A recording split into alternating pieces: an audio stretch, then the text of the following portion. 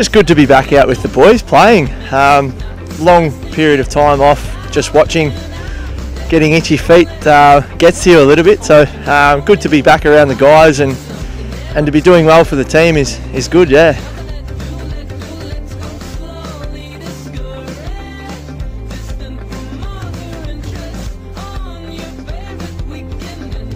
Having the guys around that uh, are consistently helping you out, like Aussie and Sami and, and Pillow and Wellesley, that that are around and, and always giving you a confidence and and you know that they've got your back. So I think it's it's knowing that the praise is always there and and it just comes naturally, I suppose.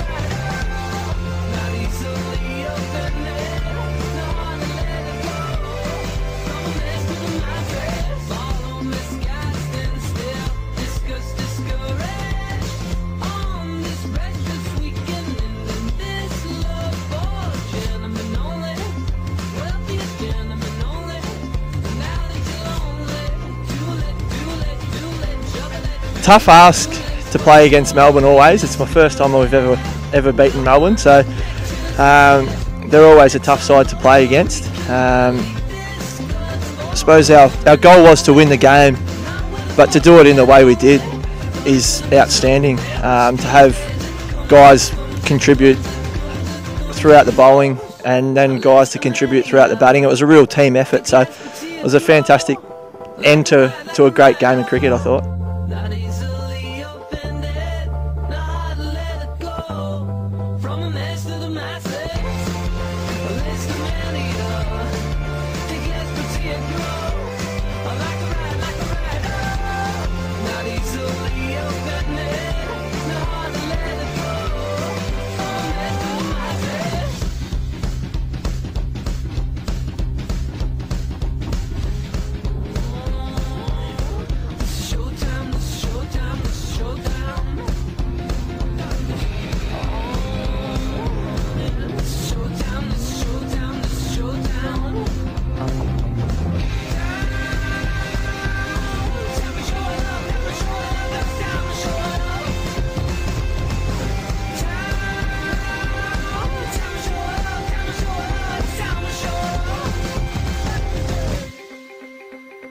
Comes down to you know working in the nets and knowing your game. So uh, definitely try to get you know the young kids coming through to know their game uh, in the nets before they go out into the middle. So it's just knowing your game, and you know, 37 years of age. I think if you don't know your game by now, then there's something wrong.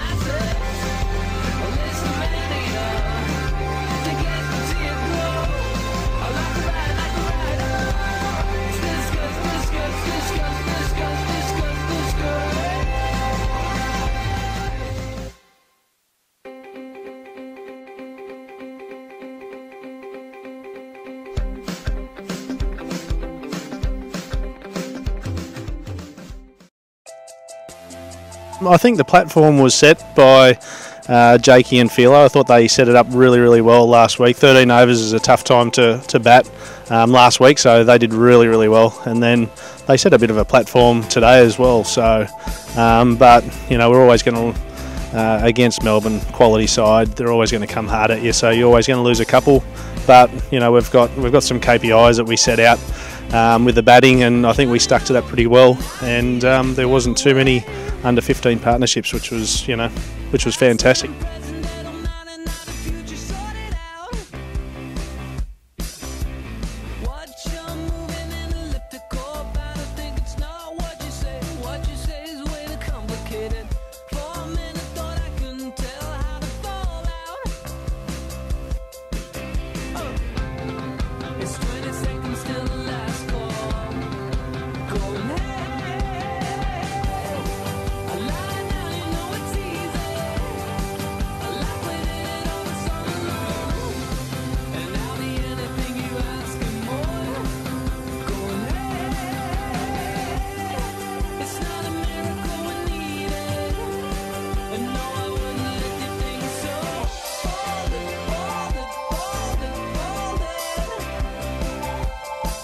I think you know we've been probably you know one of the most consistent sides over the last couple of years, uh, probably five to eight years, I think.